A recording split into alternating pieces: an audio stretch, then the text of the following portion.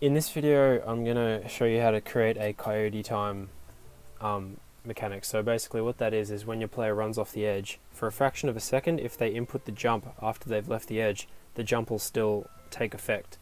Um, and that's a good thing because sometimes if you're doing a game where there's lots of jumping involved and your player inputs a jump just after they've run off the edge, um, like it feels a bit shit if like the jump just doesn't go through, even though the player intended the jump to go through. Um, and a popular game this is used in is the game Celeste. Um, and in in my game, like my problem is that when I'm in the air and I press the spacebar to jump, if my player's off the edge, they whip out their glider, and sometimes I don't want to do that at all. Or like sometimes like space in some of my games is for fast fall, and if they've just walked off the edge of the map and they press space intending to jump, and it launches them straight down to the ground, it's like the opposite effect of what they intended. So I'm going to show you how to create a um, coyote time. Well, I'm going to create one myself because I want one for my game, and I'm going to just just show you as I do it. But um, we're going to need to use the event tick to determine the instant when the player walks off the edge because there's no um, event that fires for that. So the way that you do that is you grab your character movement. This is in my player blueprint, my third person player blueprint, um, and you say is falling. And every frame we're going to be checking um, if we're falling. And what we might do is we might have a new variable, a boolean, uh, in air question mark. That's what that boolean's going to be called. And we're not going to set that every frame actually because what we're going to do is by default we're starting on the ground so we can set that to false by default. Um, and I might just move this to my movement tab. You can have that wherever you want. Now every frame what we're going to be doing is checking if is falling is equal to is in air. Uh, or hang on, what's a better way to do this? Let's let's call this is falling, so they're the same. Or last is falling. Okay, so now if they're not equal, then we know that a result has changed. Okay, and so then if a result has changed, then we can uh, update the is falling, right, like that.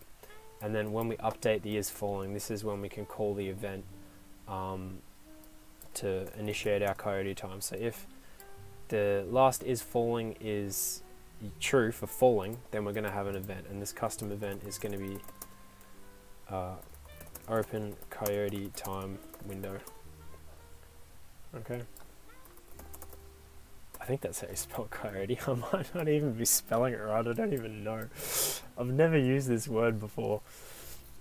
Um, so open coyote time window, and basically, all that all that needs to happen here is we can just have a delay, um, which could be coyote time. This will be the amount of time that'll um you'll have to be able to input your jump command and maybe it can be 0.2 of a second, that might just be perfect. Uh, so if is falling is now set to true, the result changed and it's now set to true, we're going to open the coyote time window and I might just put a print string. This is just a fancy print string that I've made. Um, you can just use a normal print string. I'm just going to put coyote time open and then I'm going to put over here coyote time closed. Um, and I might have a new variable which I'll just call coyote time. Coyote time. Oh, actually we'll call it coyote time open.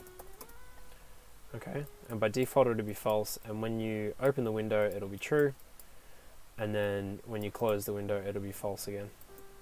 And if this gets activated, this needs to be a retriggerable delay because if you fall off um, an edge while the coyote time window is open, you want to reset the delay. So you reopen, you reopen the timer. Okay, so let me just jump in my game and just test that out. Uh, I'm going to open a testing map. Just with some, well, it says testing grounds, I think that's the one I want. And I might just build myself a platform as well. Okay, uh, we don't want any bad dudes in here, not at the moment.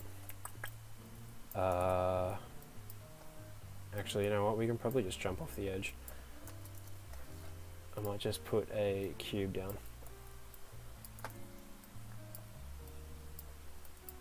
And make that lit, god that's bright. Okay, so, so you can see in the top left we got open closed, open closed, and if I walk off the edge, open closed. Okay, so let's make that a little bit longer so that you can see what's going on. Um, maybe let's make it one second just while we test it, so that it's easy, easy to see what's happening here. Open, and then closed. Open, and then closed, and that's my glider. Um, so what's going to happen is when I walk off and input jump then, we want him to jump instead of glide, so that's what we're going to do now. Uh, so all of this, that's all fine. We can just leave that exactly how it is. Um, now you just want to find your jump command. Now just ignore all this bullshit that's going on here and just find when you've got your input jump, okay? Um, if you're in a if you're in a um, third person template, it'll just be like jump and then it'll just have jump, okay? So if you input a jump and hang on, let me just leave this connected. This is all just multiplayer shit, but don't worry about that. Um, this is my jump down here, okay? So basically, just ignore what that looks like. Anything that goes past that node is just jump, and it's just sound effects and things. So, jump, right? Um,